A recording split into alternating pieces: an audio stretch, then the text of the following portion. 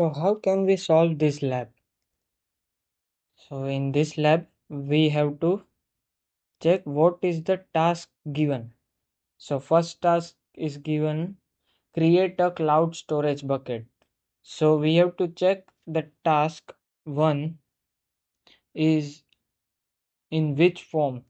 Okay.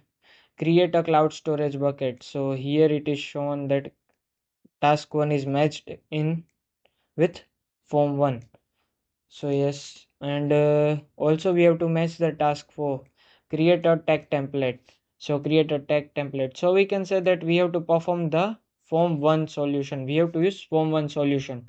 So i will share whole uh, notepad file in the description. So you can follow it from there. Okay?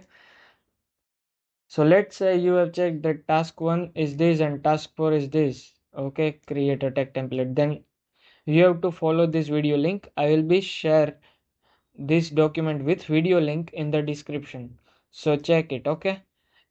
If you have the task one is create a lake in dataplex and add the zone to your lab or something like that and uh, task for like create a tag template.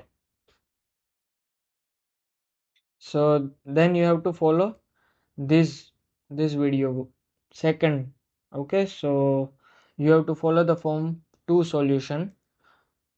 The link will be shared here okay? Don't worry. So same for the form 3 and form 4 i will share solution and the video link both in this with this uh, notepad file okay? So don't worry